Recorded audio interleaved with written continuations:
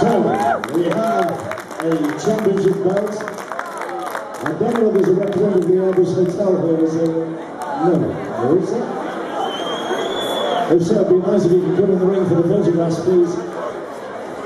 I'm very grateful, as always, to people who uh, sponsor and make these events possible.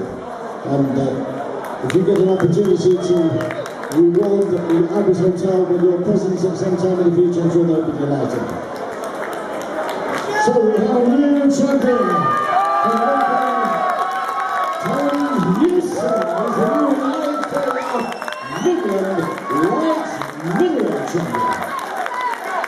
But I'm sure everybody here who uh, comes regularly to these shows will wish to uh, put your hands together for the effort put in and the uh, commitment put in by this boy from K-Star, Nathan Adams. He's obviously going to be disappointed. It was so close.